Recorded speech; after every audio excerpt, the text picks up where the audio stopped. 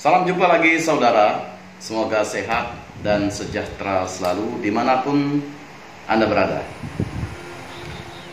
Mbah Menel dan juga Mbah Gimbal menantang putra putri naga, menantang putra putri Kalimantan, benarkah?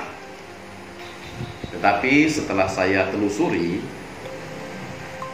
ternyata judul dari YouTube mereka itu lain dengan isinya.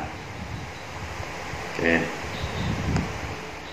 Oknum, ya, oknum yang tidak bertanggung jawab. Saya bangga dengan putra putri suku Dayak Kalimantan Borneo yang begitu kompak untuk membela tanah per Kenapa? Karena suku-suku putra-putra daerah Kalimantan itu ramah-ramah, baik-baik.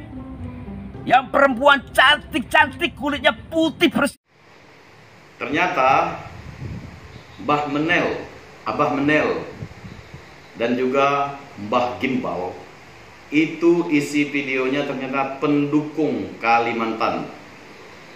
Mereka ini hanya mendongkrak popularitas YouTube mereka, kanal YouTube mereka menjadi semakin ramai dan banyak penonton. Puluhan ribu, bahkan ratusan ribu. Sementara kasus Edi Mulyadi sampai sekarang Edi Mulyadi ternyata di dunia medsos sudah drop. Apakah Edi Mulyadi sudah ditahan? Kita ingin dengar kabarnya dan apakah Edi Mulyadi sudah dihukum adat?